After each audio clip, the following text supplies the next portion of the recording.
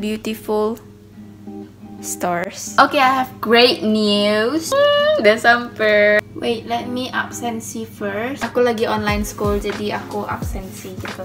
What do you do after you absensi? Gone. Okay, let's open gila. Aku udah gak sabar banget mau buat ini. Jadi waktu itu aku pertama kali crochet. Crochet itu kayak ngerajut gitu cuman pakai satu alatnya aja pakai hooknya aja. Alatnya kayak gini dan aku waktu itu crochet satu crop top dan it turns out very beautiful. Dan sekarang aku tertantang untuk ngebuat let me just show you. Jadi aku mau buat ini. Yes, Harry Styles inspired cardigan. Pas pertama kali aku lihat itu aku kayak agak gak gitu suka warnanya karena terlalu ekstrim tapi lama-lama aku liatnya jadi kayak unik banget gitu loh dan I want it. Oh my god. Ah! aku nggak tahu by the way ini bakalan cukup atau enggak cuman ya hopefully it's enough. Oke okay, sih menurut aku warnanya kayaknya bakalan cocok ini semuanya and I'm very excited to start. Nah, jadi aku rasa ini bakalan memakan waktu aku selama hampir satu bulan kayaknya. Soalnya aku nggak bakalan buat all day. Aku yang sehari cuma bisa buat 2-3 jam gitu. Jadi bakalan lama banget ini prosesnya. So you guys please join me in my journey of making the Harry Styles cardigan. Ya aku bakalan lihat di tutorial dulu. Tenang guys. Aku juga bakalan kasih kalian linknya nanti tutorialnya di description. So don't worry. Be happy. Look at my babies. Oke okay, aku bakalan jelasin ke kalian dulu konsepnya kira-kira gimana Uh, jadi begini, ini udah 8 November. Jadi selama satu bulan ini tuh aku kerjain gitu loh, aku crochet everything, udah siap.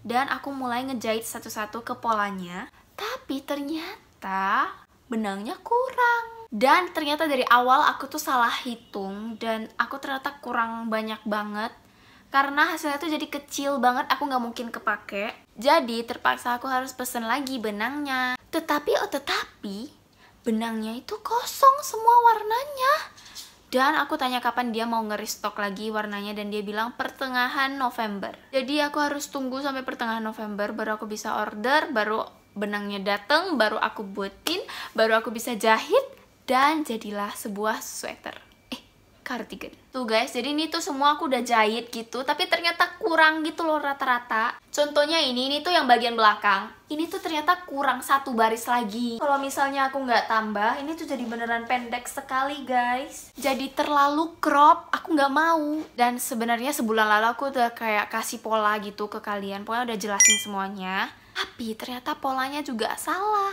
Aku tuh ngikutin tutorialnya itu aku liatnya dari awal gitu loh. Jadi orangnya itu uh, kasih pola yang salah di awal video dan di akhir video baru dia kayak koreksi gitu. Jadi ya itu kesalahan aku. Aku lupa kalau di akhir video dia koreksi. Jadi aku tetap pakai pola lamanya gitu. Dan ya jadinya kekurangan deh dan aku sekarang bakalan jelasin ke kalian pola baru dan aku rasa yang ini tuh nggak bakalan kekecilan lagi dan bakalan pas banget. Oke sekarang aku mau jelasin ke kalian tentang pola yang benar. Moga-moga ini bener jangan salah lagi. Jadi dalam proses ini kita itu perlu mengcrochet banyak banget persegi-persegi yang dari single crochet dan houndstooth. Single crochet itu yang kayak gini rajutannya dan yang houndstooth itu kayak gini yang dua warna gini. Ini kayak nama jenis rajutannya gitu. Dan di sini aku pakai enam warna, kuning, hitam, orange, uh, hijau, merah sama campuran merah hitam.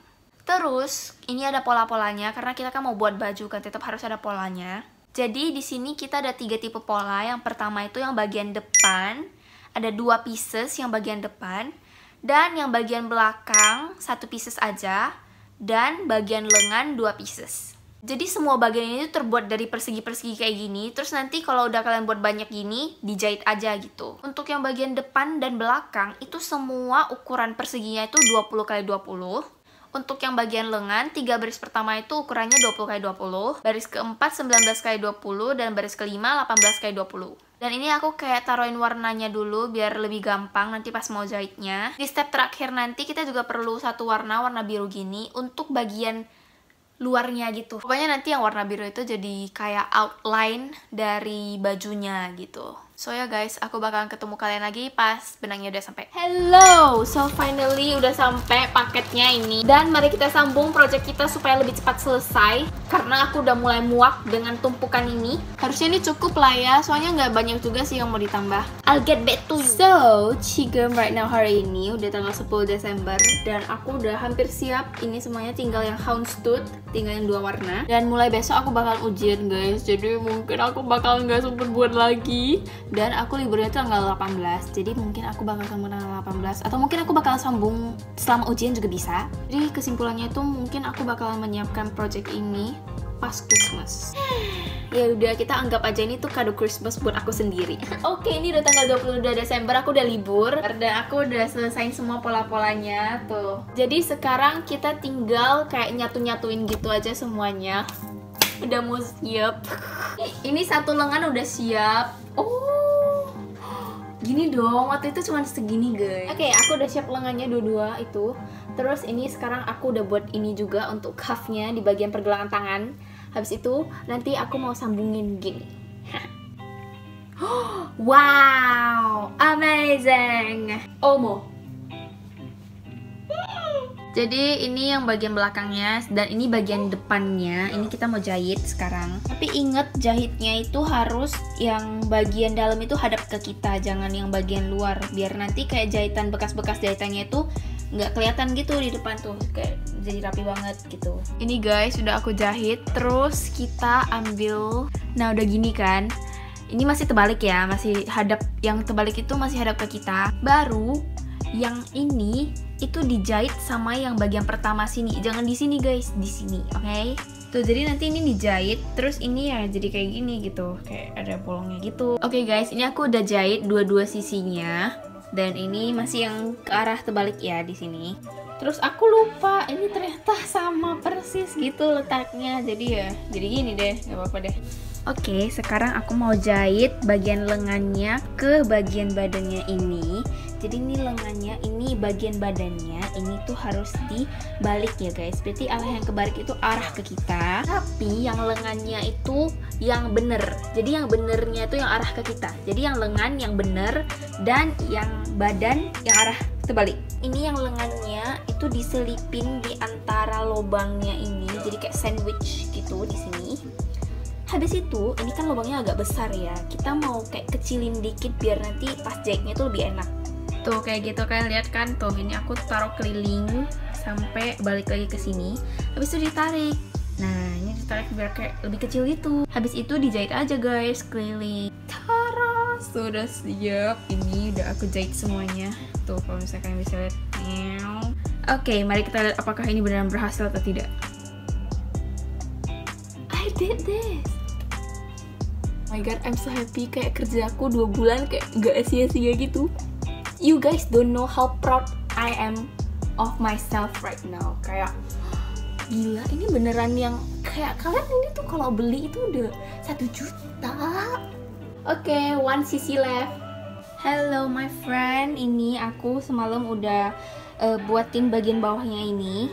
Ini aku tekniknya tuh aku sama persis kayak yang buatin cuffnya di pergelangan tangannya. Terus sekarang aku juga baru mau mulai buatin bagian sininya. Tuh yang bagian lesnya sini. Persis kayak gini juga nanti. Kayak aku sesuaiin aja sama panjangnya gitu. And after that it's done oh my god. Oke okay, aku buat dulu ya. Oh my god. Akhirnya setelah dua bulan lebih ini udah siap. Oke okay, I'm gonna show you